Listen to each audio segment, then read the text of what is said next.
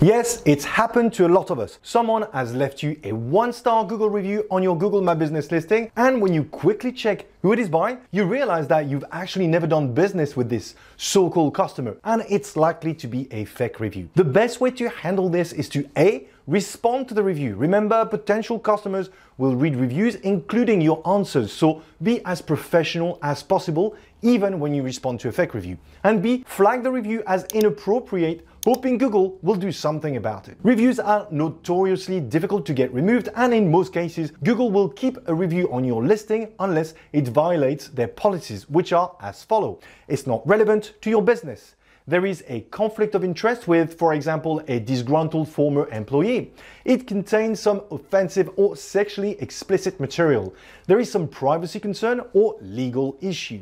So unless the review you are flagging fits one of these criteria, chances for it to be removed are slim. Nevertheless, it's still worth flagging a review which you think is not genuine. The only problem with doing this up to now was that after flagging a review, all you'd get is a thank you message confirming it had been reported and that Google might follow up with you if they needed further clarification. And that was pretty much it. You wouldn't know what decision would be made by Google, why, or even if they had bothered looking at it altogether and be left in the dark. Thankfully, those days are gone. Google has just released a brand new tool that displays all your reviews in one place.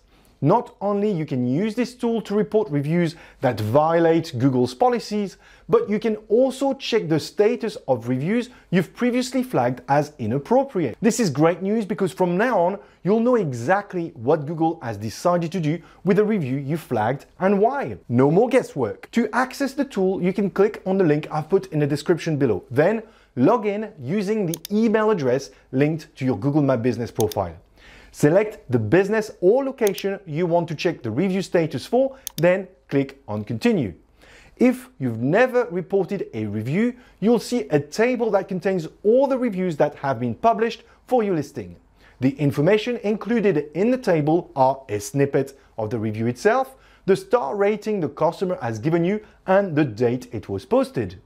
Clicking on the view on Maps will take you directly to that review on Google Maps itself. To report a review you feel goes against Google's guidelines, click on the Report a Review link.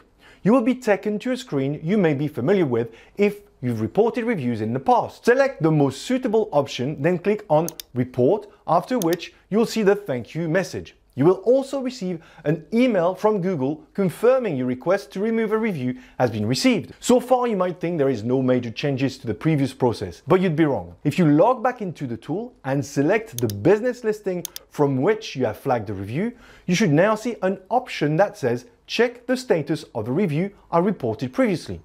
Tick the radio button and continue. On the next screen, you'll see the list of the reviews you have flagged in chronological order along with their status. In this example, Google's decision is still pending. This is because reported reviews may take up to 72 hours to be evaluated, after which the status should be changed. If the review is infringing Google's policy, it will be removed and will no longer be displayed on this list. If, however, Google deems the review to be genuine, the pending status will be updated to the following status. Report reviewed, no policy violation. For more details about the decision, you can select that review by clicking on the radio button and click on continue. If you are unhappy about the decision, you have the possibility of appealing so the review can be assessed a second time. You can only appeal once, after which the decision will be final. I personally think this is a very handy tool and provides much more visibility around Google My Business reviews overall. At the very least, you know where you stand and you're no longer going to waste time chasing Google about an undeserved review. This is also useful for SEO professionals out there who can show their clients they've done everything they could to remove a review that isn't genuine. If However, you Google My Business account is linked to a large number of business profiles, it will not work. But for most of you out there, it will. So try it out. I hope you liked today's video. If you did, remember to press the thumbs up button. And if you have any questions, post them in the comments below. Until next time, happy marketing.